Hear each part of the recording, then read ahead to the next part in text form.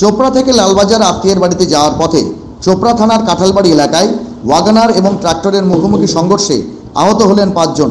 আহতদের মধ্যে একজনের অবস্থা আশঙ্কাজনক।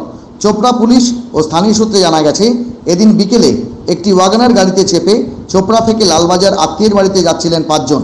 সেই সময় একটি বাইককে বাঁচাতে গিয়ে উল্টো দিক থেকে আসা ট্রাক্টরের সঙ্গে মুখোমুখি সংঘর্ষ হয় ওয়াগানার গাড়িটির। আহত হন পাঁচজন। স্থানীয়রা আহতদের উদ্ধার করে দলুয়া প্রাথমিক স্বাস্থ্যকেন্দ্রে নিয়ে যায়। তাদের মধ্যে একজনের অবস্থা আশঙ্কাজনক হওয়ায় তাকে উত্তরবঙ্গ মেডিকেল কলেজে রেফার করা হয়েছে।